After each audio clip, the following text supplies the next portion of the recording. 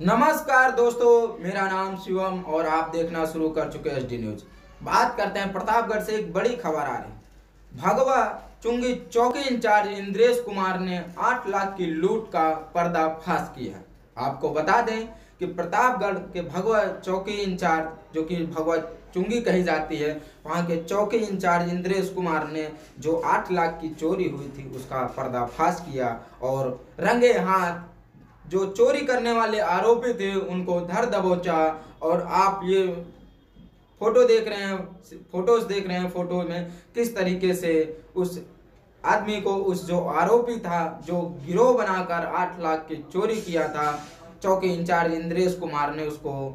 धर दबोचा और इस तरीके से पुलिस को मिली एक बड़ी कामयाबी। चौकी इंचार्ज इंद्रेश कुमार की बहादुरी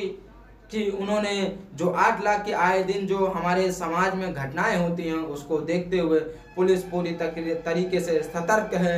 और कम से कम अपराध हो, ये पुलिस प्रशासन और सरकार की मंशा है।